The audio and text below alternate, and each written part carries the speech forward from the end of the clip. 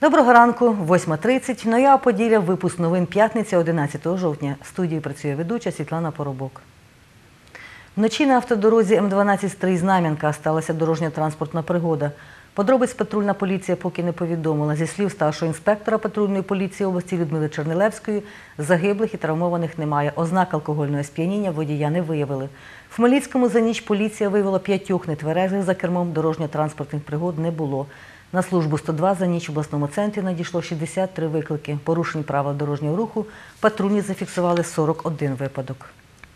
Сьогодні о 9 годині відбудеться покладання квітів до меморіальної дошки пам'яті Героїв Небесної Сотні та учасників АТО на Майдані Незалежності в обласному центрі.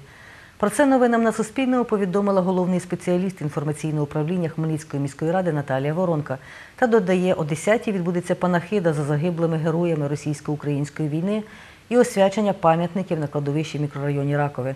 На місці подій працюватиме наша знімальна група. Подробиці дивіться в наступних випусках новин, а також на нашому офіційному сайті та на нашій сторінці у Фейсбук. Благодійний ярмарок на користь поранених на сході українських бійців влаштували в Солобковецькому закладі загальної середньої освіти 1-3 ступенів Ярмолинецького району.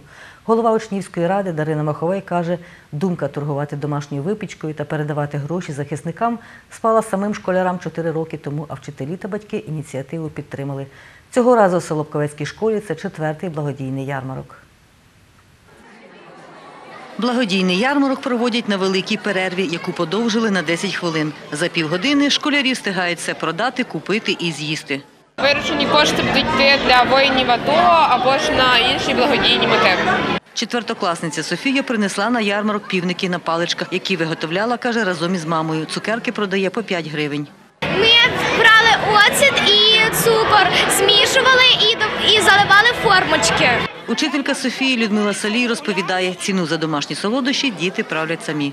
Такий тортик, наприклад, 15 гривень.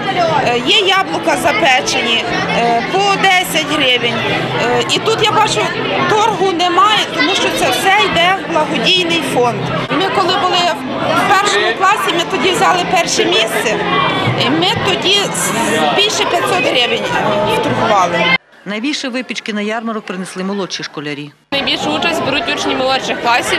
Взагалі, ну нас дивує, наскільки вони активні, тому що долучається більша частина класу. Директорка школи Наталія Ткачук каже, організувати такий ярмарок запропонували школярі з учнівської ради. Вони ж вирішили віддавати гроші бійцям-землякам.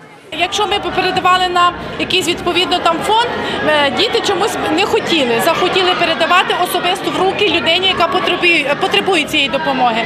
І от так сталося, що у Дунаївцях хлопчини е, відорвали руки і ноги. І перша а, така е, ярмарка була е, гроші вилучені на ці ярмарки, передали цьому хлопцеві. Він був дуже задоволений, і діти особисто передавали. Зустріч була. І тому вирішили кожного року робити такі ярмарки. Зі слів директора школи, кожного року виручають до 8 тисяч гривень. Кому передадуть гроші цього разу, визначаються. Зараз має під'їхати голова е, ветеранів АТО в Ярмолинецького району і сказати, хто саме потребує такої допомоги. Директор каже, в школі влаштовували різні благодійні акції на підтримку бійців на сході, ліпили вареники, робили голубці та переправляли на фронт. За її словами, і діти, і батьки долучаються активно. Світлана Поробок, Юрій Чорний. Новини на Суспільному. Хмельниччина. Триває реєстрація для проходження повторної сесії єдиного вступного іспиту з іноземних мов для вступу на магістратуру. Про це новинам на Суспільному повідомила методист Вінницького регіонального центру оцінювання якості освіти Ірина Ковальчук.